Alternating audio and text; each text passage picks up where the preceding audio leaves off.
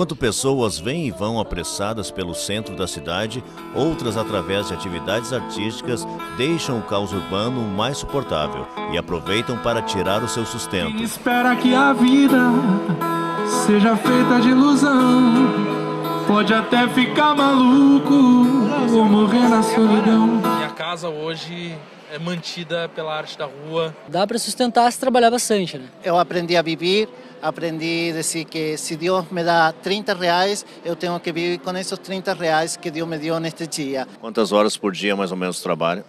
Entre duas e três por dia. Toco aqui todas as quintas, sextas e sábados na, na Rua da Praia. Um público maravilhoso, pessoal muito receptivo. A, a parceria da volta, lojas, os funcionários das lojas, todo mundo, pessoal sempre muito receptivo. Isso para mim hoje é muito bom.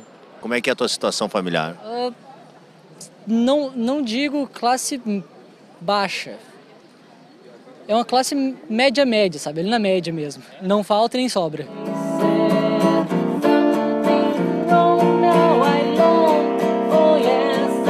Como é o Luan fora um músico de rua? Fora, sou um cara muito normal, sabe? O cara que passa o dia inteiro no quarto tocando violão, sabe? Basicamente isso. Graças a Deus eu, eu tive uma família que sempre me apoiou.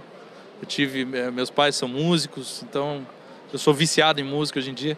Foi muito complicado assim para chegar até aqui, porque é, até eu consegui angariar fundos para poder uh, comprar equipamento, para poder uh, arrumar parceria. Quando cheguei a Porto Alegre, meu coração ficou aqui em Porto Alegre há 15 anos atrás. E de aqui não me, não me movi mais porque fui feliz e trabalho nesse mundo imaginário de cada criança, de cada adulto e o amor foi muito grande. Afinal, por que esses artistas estão na rua? Será que é dificuldade financeira, falta de lugares para se apresentarem ou amor pela arte? Luan, o que te levou a ser um músico de rua? A vontade de mostrar o meu som e a falta de espaço.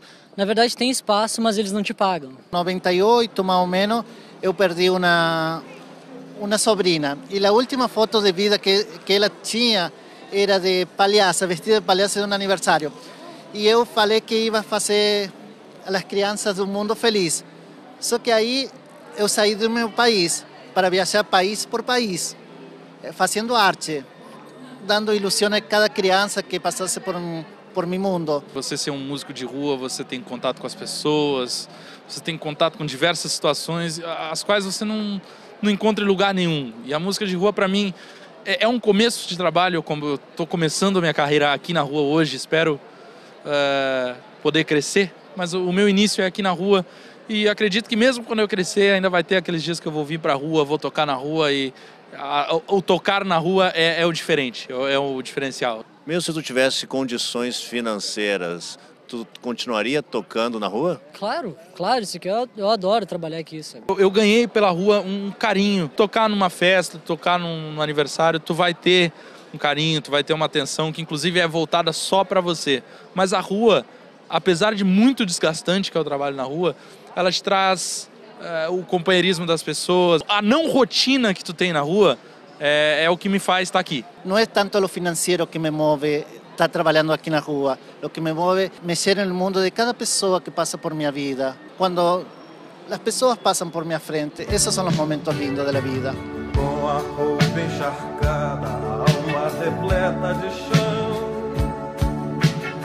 Todo artista tem de ir aonde o povo está.